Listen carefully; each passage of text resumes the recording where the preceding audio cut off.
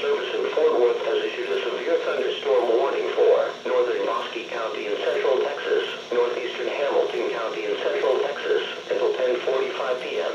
At 9.47 p.m., a severe thunderstorm was